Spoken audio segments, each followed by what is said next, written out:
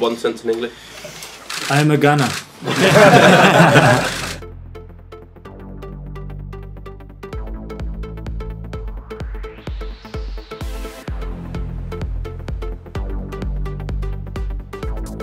he enjoys, and I hope you enjoy because you see a great football player.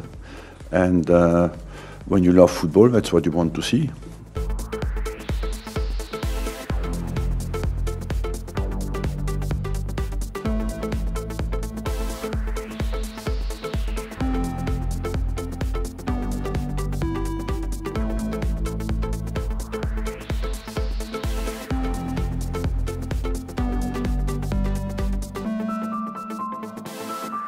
The length of a contract uh, has nothing to do with uh, normally uh, with the selection of the team, but uh, sometimes you have uh, special cases that I don't want to interfere in. But most of the time, we think when we sign a player for five years, now we have a good player for five years, but that doesn't necessarily mean uh, that they practice it, they play at their best, you know, because they it's a bit inviting them to be in the comfort zone. Can you say to why Mesut Ozil didn't make the squad tonight? I, I think tonight is not uh, the day to for to speak uh, about that. Does he have a future at Arsenal? Uh, I prefer to speak about the match, uh, really about the players they played. yes, but he is not in the in the squad, and, and, uh, and this is uh, tonight. This is that is the decision, and, and we are going now to, to work for Sunday.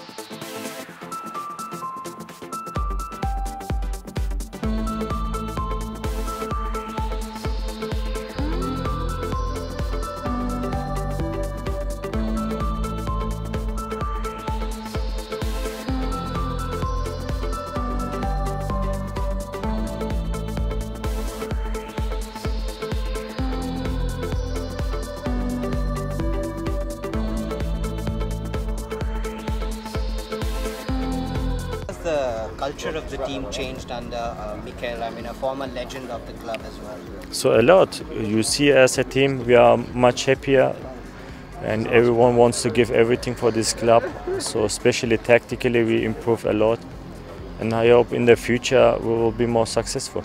Um, on on Mesut, um, has he now played his last game for the club, and what more could he have done from a football point of view to maybe come into your thinking?